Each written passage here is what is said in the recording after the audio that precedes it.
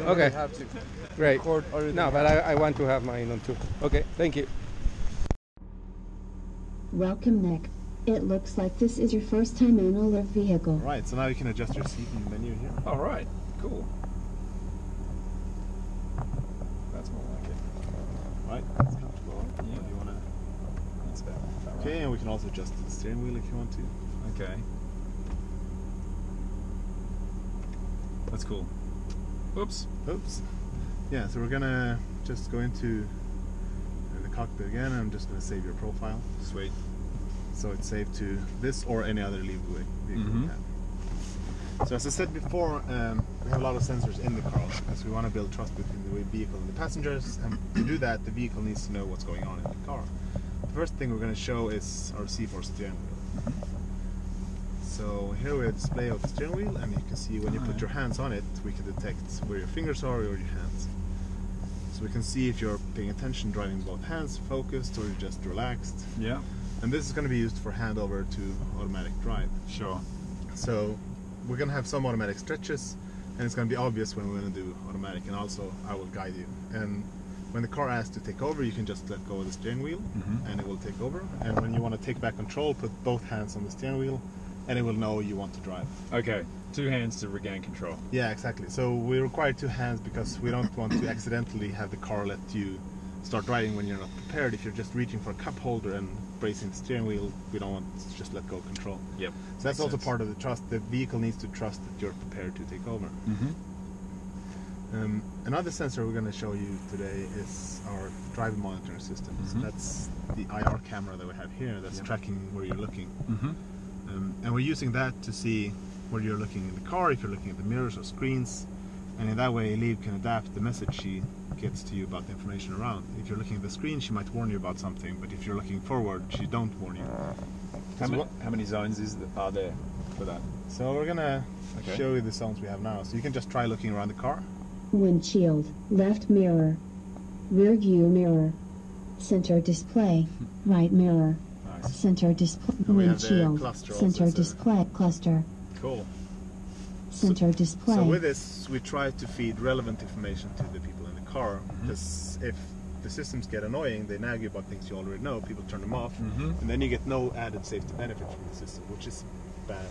Because we want our systems to be, to be used because we know from experience that they will increase the safety of the passengers in the car and also outside. Yep. So we need to have an adaptable uh, system that can adapt to the passengers and whoever you are. And people like their levels at different, yeah, or, uh, the settings at different levels. Yep. So it's good if the system can do that automatically by itself. Um, the last sensor we're going to show you is actually our seat belts. So these four gauges show how far the seat belts are pulled out. So you can see when I pull mine, it moves up. So by this we can see the position of the, of the passenger in the car. We can see that you're leaning forward because your one is pulled out far. Gotcha. So if we're about to have an accident, she knows who who she needs to pull back into a more safe position, for instance. Or we could just do this and give information to you in that way. Yep. So you can try also to tinker around with this. Maybe guys in the back. Oh, oh, oh, oh, oh, no way. Yes. So I mean, you can give information in a lot of different ways. You can have voice commands, you can have things on the screen or the cluster, but you can also do haptic warnings on the steering wheel or Yep. or seat belts. So there's a lot of different way ways to, to give information, and we're trying to explore these and see which is better for which kind of scenario and so on. We also have microphones in the seat belts, so we can see who is talking in the car. That's cool. So the car can know. So there's three in each seat belt like this. Yeah.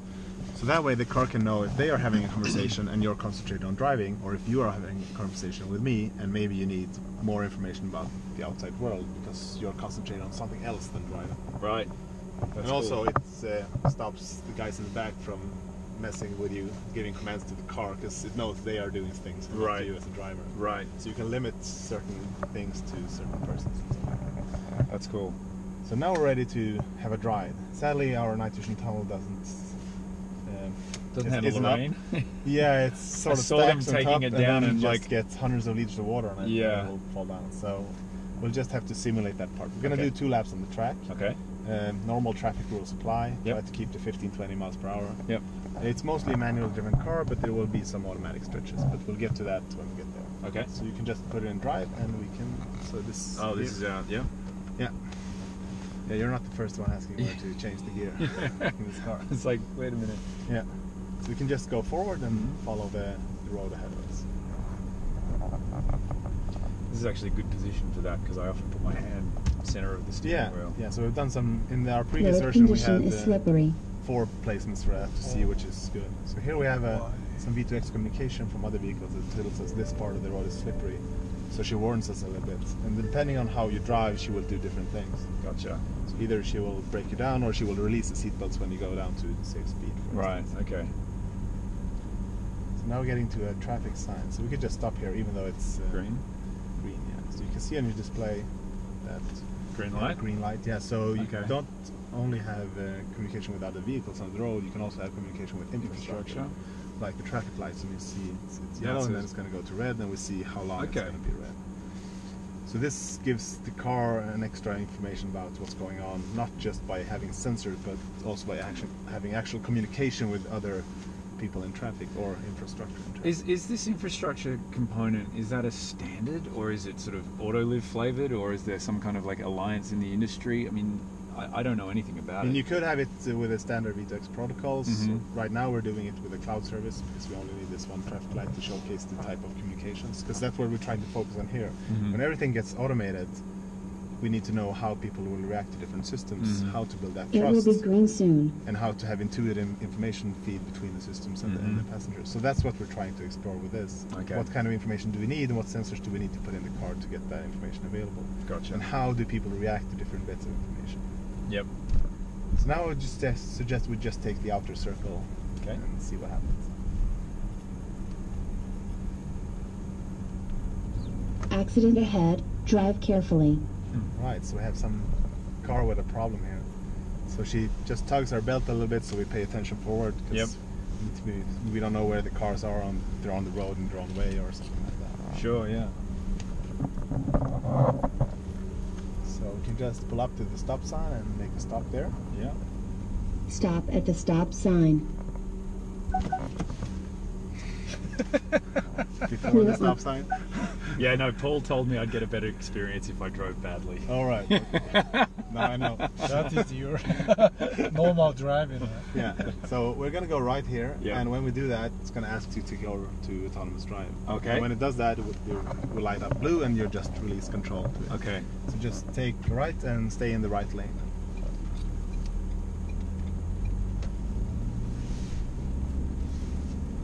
Autonomous drive active. So now you can just let go. Hands off and and. feet Hi off. again. Yeah.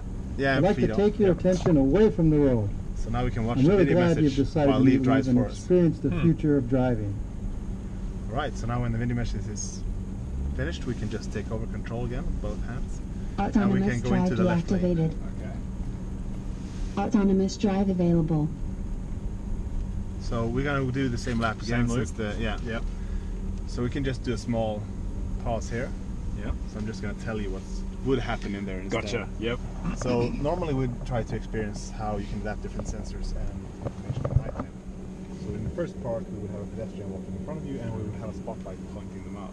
So that's also one way to get information to the to the driver. You don't need to have a voice command or, or a screen.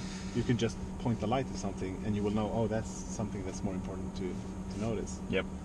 Uh, but sometimes spotlights doesn't work good. So in the second part of the the tunnel, we would have a foggy situation, Mm-hmm. and then a spotlight would blind you. Yep. So she wouldn't turn that on, but instead she would turn on the uh, the night vision display with our heat camera. and You could see Okay. the deer that was we actually pulled into the tent now. Yep. where we started. So that would be heated in the in the tunnel. We would see that instead. Right through, the, fog. yeah. Yep. That's cool. Yeah, so we could just go forward here, and we're gonna not do all the slipper part again, but we're gonna go behind the white Volvo, Uh, like like we just came take out. it of. right. Oh, okay. Yep. Yeah, yep. so we're just gonna skip over the condition blue is part. slippery. Yep. Why the rear seatbelt tighten?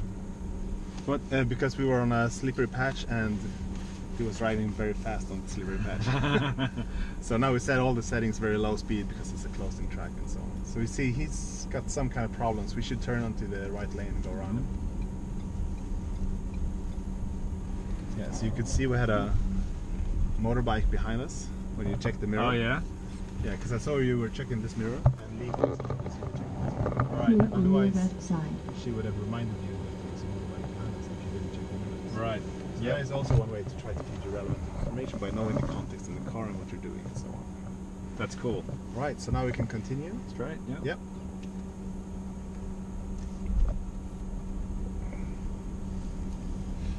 And we're gonna go left and park behind the blue car that we have. Okay. Yep. So the middle part of this is gonna be actually a demo of our LiDAR, Oh, cool. which is the only sensor that we're not using in this car here. right. And that's gonna be with Steve, so he's gonna get back from that in a minute. Nice to meet you guys. So for this one, I'll be driving. Yep. So if we can have one person up front, two in the rear of the vehicle, we can get started. Sure. Thank you.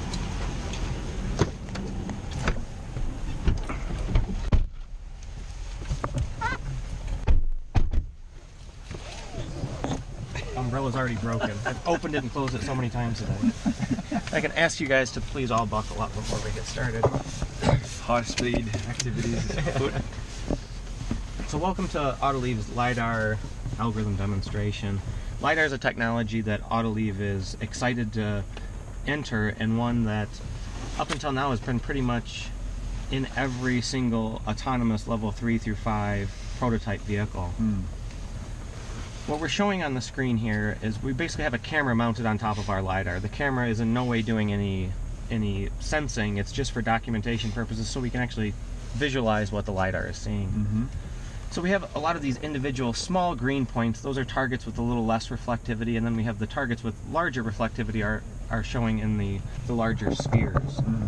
And they, they are all color coded because they're run through a, a clustering algorithm. So like all of these points that are in black, we're saying is the same object. So that whole fence is one large object. Okay. Yeah. So it'll become more apparent when we make the turn and we get a lot more objects.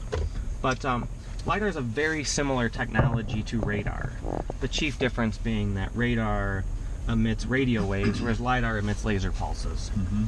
So because the laser pulses have a much shorter wavelength and the sensor has a very high bandwidth, we're able to get resolution and range down to about four millimeters.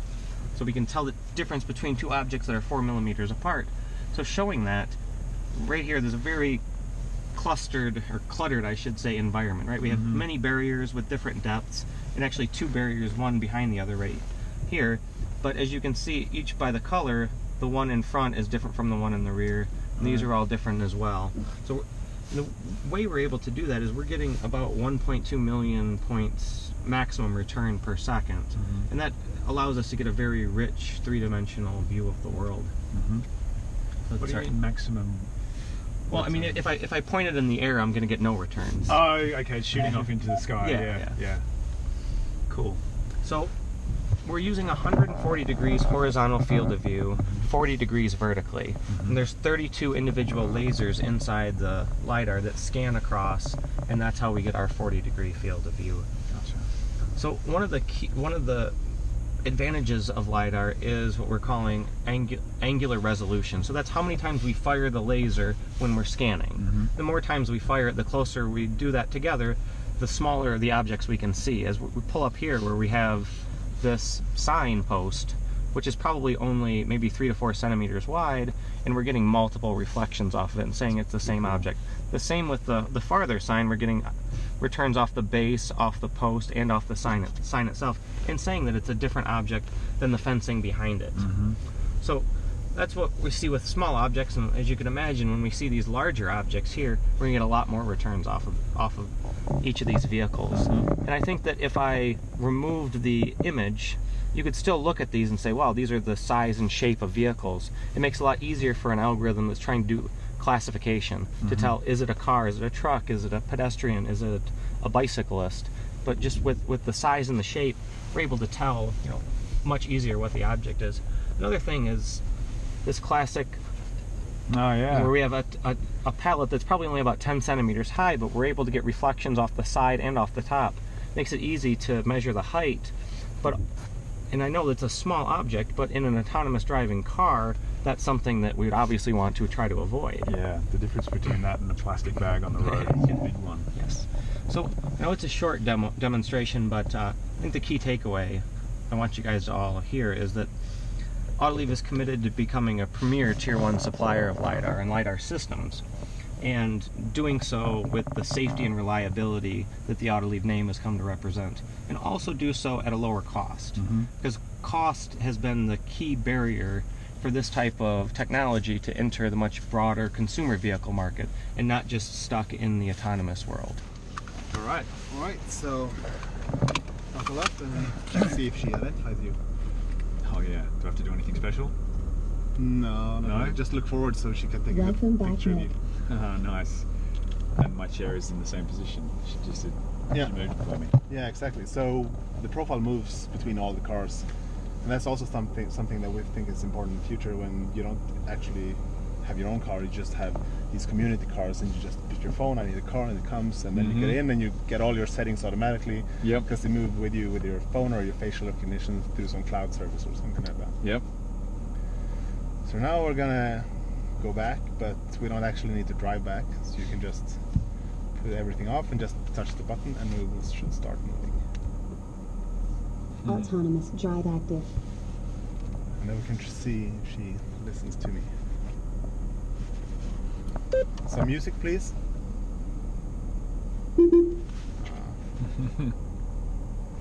She don't like me. Some music, please. At least you guys aren't faking it. That's cool. What? At least you guys aren't faking it. Hi again. Yeah. I'd like so we it. don't need to listen to him again. so we already heard his message. So what do you think so far? Really cool. Um, it's it's really quite um, cohesive.